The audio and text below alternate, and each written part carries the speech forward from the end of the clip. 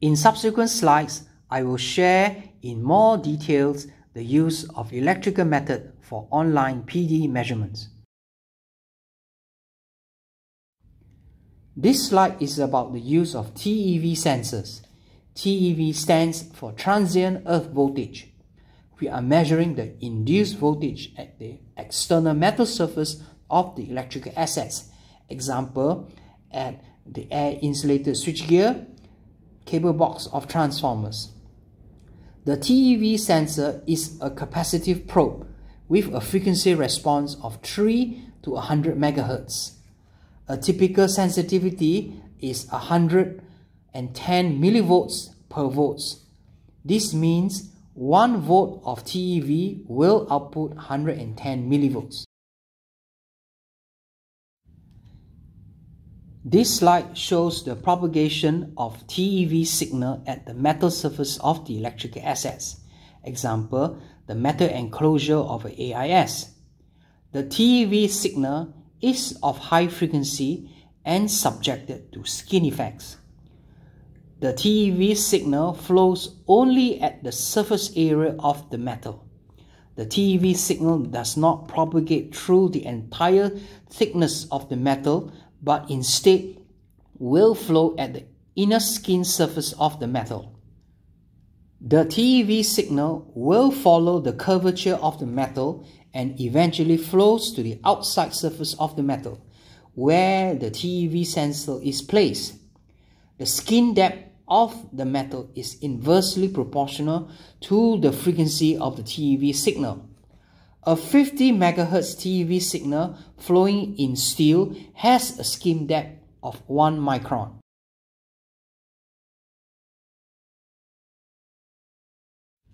This slide is about HFCT or high frequency current transformers. This HFCT will not detect current that are 50 Hz. Due to the material of the core, the frequency response of HFCT is from 100 kHz to 30 MHz. Common material for the core of HFCT is soft ferrite. HFCT are usually of split core construction and whose purpose is to facilitate the connection of the HFCT to any existing ground cable.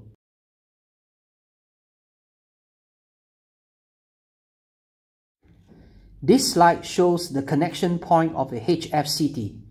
HFCT are commonly used for online PD measurement of screen type HV cables. In Singapore, the most common type of screen is copper tape with at least 50% overlap. A defect within the insulation of the cable will produce PD current in the copper tape and it will flow to earth via the earth braid of the cable termination. The HFCT is connected at the earth braid of the cable termination, which is available at both ends of the cable. Any PD current flowing will be detected by the HFCT. As the PD current propagates, there is attenuation of the PD current and change in frequency content of the PD signal. The higher frequency component of the PD current will be more attenuated than the lower frequency component. This explains the lower frequency response of the HFCT at 100 kHz to 30 MHz. This slide is about UHF sensors for online PD measurement. UHF stands for ultra high frequency. It is from 300 to 3000 MHz. UHF PD sensors are used when you want to localize the PD source. If PD is detected by UHF sensors, it means that the PD is near to the measurement point. UHF PD sensors are very suitable for the detection of PD at cable termination. Premature failures of cable termination is very common in Singapore. This slide is about the connection of the UHF PD sensors. The UHF sensors can be inductive or CT type. The UHF sensors can also be of capacitive type.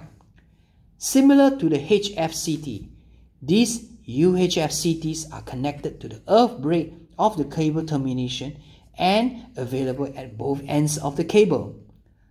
A capacitor exhibits lower impedance as the frequency is increased. PD current, which is of high frequency, will prefer to flow into capacitors because of the lower impedance. This slide shows the connection of UHF PD sensors at the cable chamber of a 22 kV GIS. The UHF sensor, capacitive type in this picture, is connected to the earth braid of the cable termination. The purpose is to detect PD at the cable termination, which is a common defect. In subsequent slides, I will describe the use of embedded sensors which are not intended for PD detection but can act as PD sensors. The embedded nature of these sensors within the electrical assets makes it very close to any PD defect and makes it a suitable PD sensor. This slide is about the use of RTD or motors as PD sensors. RTD or resistance temperature detector is used for temperature measurement. The RTD are inserted at the stator windings of the motors. Common type of RTD is the PT100, which uses platinum as the sensing element. However, it is the long lead wires to the sensing elements that acts as an antenna to detect PD. This slide shows three typical constructions of RTD. The two-wire RTD is less accurate in temperature measurement because of the inclusion of the resistance of the lead wire in the temperature measurement. The three or four-wire RTD is more accurate in temperature measurement because the resistance of the lead wires is subtracted from the temperature measurement. This slide shows the connection of a HFCT over all the respective lead wires of the RTD. The best point of measurement is at the RTD terminal box at the motor. This provides the best sensitivity and immunity from pickup of background noise as compared to measurement of the RTD at the remote starter panel of the motor. If there are embedded PD couplers at the motor, the PD measurement of the RTD can be compared for accuracy.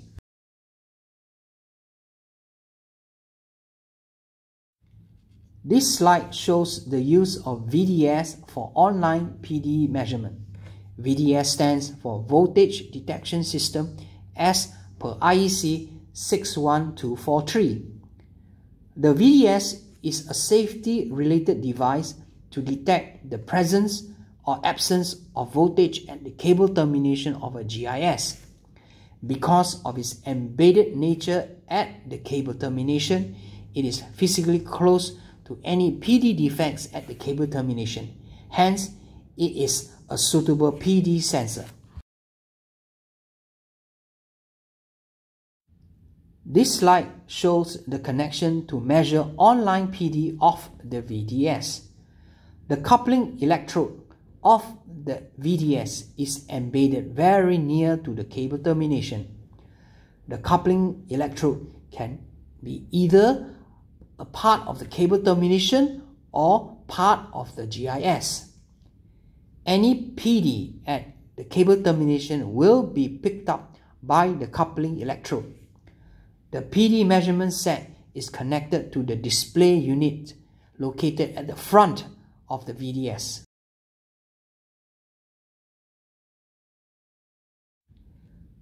This slide shows a typical setup for online PD measurement of the VDS of a 22 kV GIS.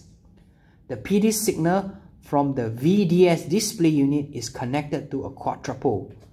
The quadrupole is the same as those used for offline PD measurement to IEC 270. The quadrupole is to prevent potential damage to the more expensive PD measurement set in the event of a transient overvoltage. A damaged quadrupole is cheaper to replace.